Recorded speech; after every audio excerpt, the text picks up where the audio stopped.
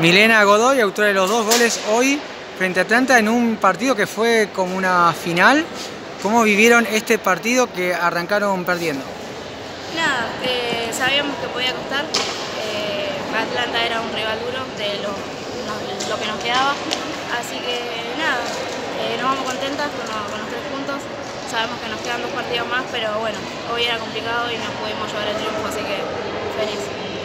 En un clima, gran clima de parte de las dos hinchadas, eh, sabían para ustedes que era un partido clave ganar, porque aparte la próxima fecha les toca libre. ¿Cómo ven la recta final de los que le queda para, obviamente, buscar el objetivo que es el ascenso directo? Totalmente, sí, el clima era totalmente todo de ellos, pero, pero pudimos, pudimos ganarlo. Eh, nos llevamos el triunfo, me quedo con el segundo gol, de 2 a 1, eh, gracias a Mika, la goleadora del, equipo.